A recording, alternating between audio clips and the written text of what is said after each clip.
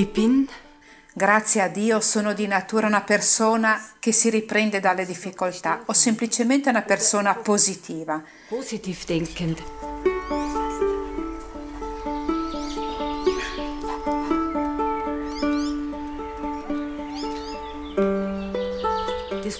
Per 57 anni ho mangiato le unghie. Per me era una grossa dipendenza.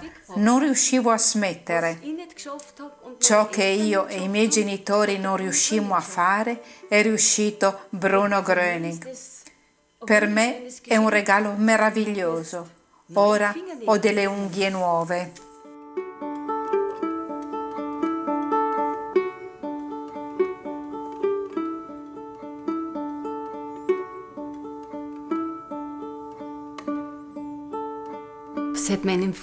Dalla primissima infanzia avevo questa cattiva abitudine di mangiare le unghie.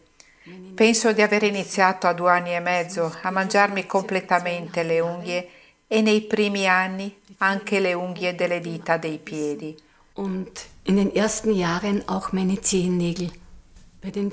A volte le dita sanguinavano perché appena sentivo anche solo un piccolo accenno di unghia già la mangiavo. Questo si acuiva quando in famiglia c'erano problemi.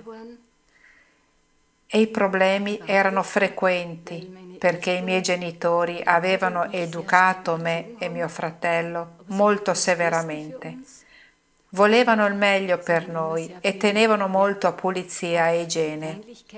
Mangiare le unghie era completamente inappropriato per loro.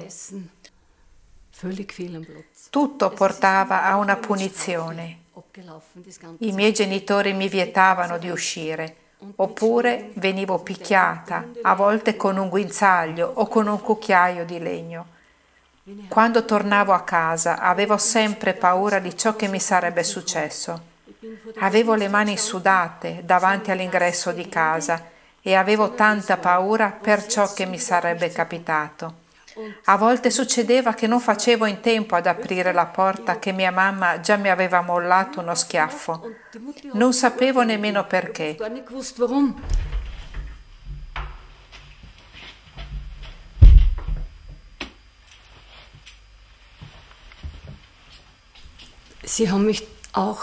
Spesso mi svegliavano di notte.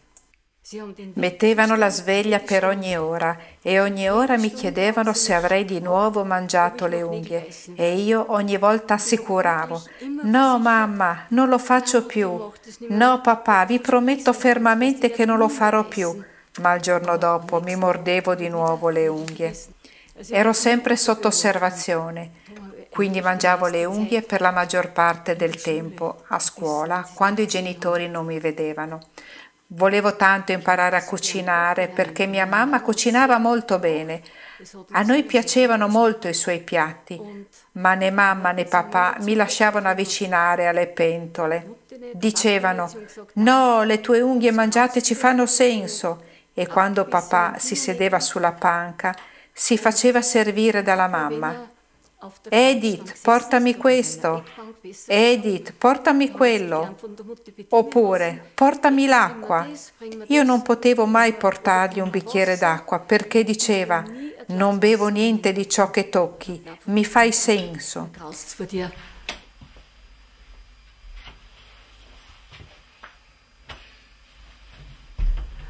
Io mi sentivo bene solo fuori casa. A scuola facevo spesso degli scherzi, credo mi servissero come sfogo. Per esempio portavo coccinelle nei calzini che poi liberavo nelle prime file e che poi ronzavano intorno alle orecchie dell'insegnante.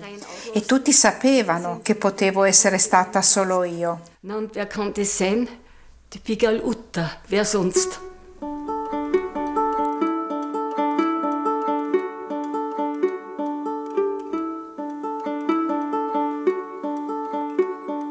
Ich kann mich noch ganz genau erinnern, früher hat es noch in Wels den Schlachthof gegeben. Da haben sie immer die Ochsengalle geholt und damit haben sie mir Ricordo perfettamente che da noi c'era un mattatoio. Prendevano la bile del bue e mi imbrattavano tutte e dieci le dita. Allora avevo dieci dita verdi e poi mi dicevano guarda come sei conciata, sembri un diavolo, vergognati. E così andavo a scuola, ma quell'amaro sulle dita non mi disturbava. Era molto amaro e con questo volevano distogliermi dal mordermi le unghie. Ma a me non importava e continuavo a mangiare le unghie. Quando c'erano delle ricorrenze particolari, come un compleanno o una festa, viziavo i miei genitori con dei regali. Era una cosa dentro di me. Penso che volessi comprarmi il loro amore. Ich glaube, ich wollte mir die Liebe erkaufen. Oggi so che ciò non è possibile. Ciò che più mi faceva soffrire era che mi punivano sottraendomi amore. Das war die Tatsache, wenn sie mich gestraft haben mit einem Liebesentzug. A volte non mi parlavano fino a tre giorni e mi ignoravano completamente. Sie haben mich völlig ignoriert. Solo la mattina la mamma mi svegliava. Alzati, fai colazione, vestiti. Tutto in tono di comando e il più brevemente possibile. A mio fratello fu vietato di parlarmi, non poteva parlarmi e così ero completamente isolata. I miei genitori avevano sempre dei cani, sempre dei bassotti. C'era Molly e a lei confidavo le mie preoccupazioni. Era il mio surrogato. Non avevo la forza e il coraggio di andare via da casa Solo quando raggiunsi la maggiore età, prima non avrei nemmeno potuto.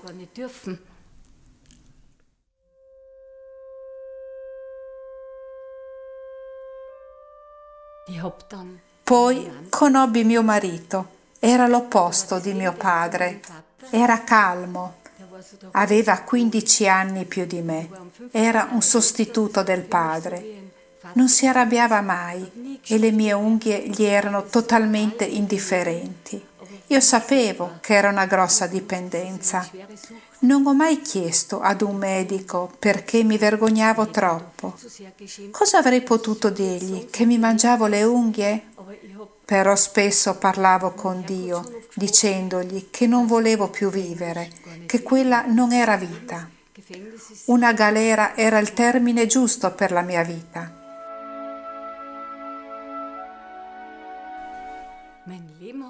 La mia vita è cambiata nel 2000. Incontrai un'amica, andammo a passeggiare e mi raccontò di Bruno Gröning, dell'insegnamento, dell'assorbire la forza e che tutto può volgere al bene. A quel tempo era ancora piuttosto oberata e la mia amica mi fece la proposta di venire ad un'ora di comunità e di fare prima l'introduzione. Fui d'accordo e feci l'introduzione. Und ich war spontan damit einverstanden. Ich habe die Einführung gekriegt. La cosa meravigliosa fu che lì si diceva mani aperte, palmi all'insù e assorbire la forza. Per me scattò qualcosa. Seduta lì, con le mani aperte, nessuno vede le mie unghie smangiucchiate. Pensai, qui mi sento al sicuro, qui sono a casa. Da bin ich daheim.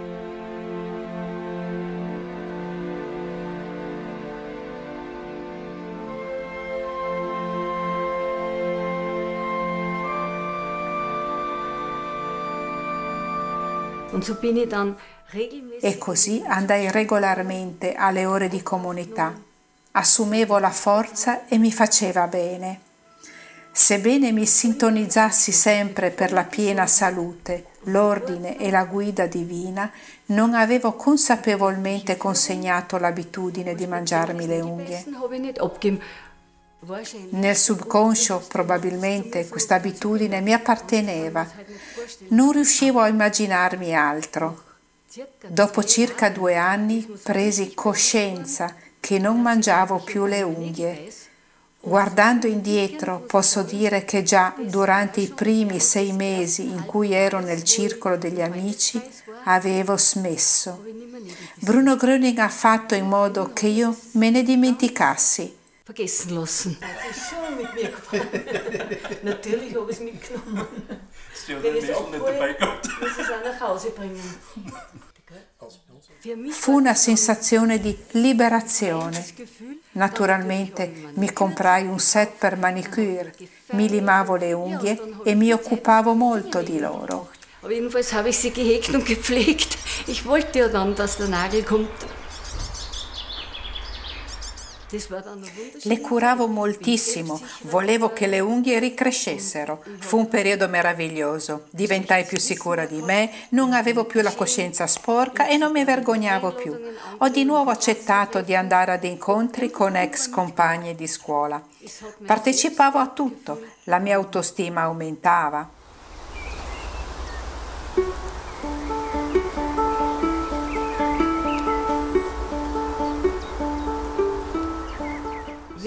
Quando vado al cimitero, alla tomba dei genitori, mi sento bene e mi sento attirata ad andare lì.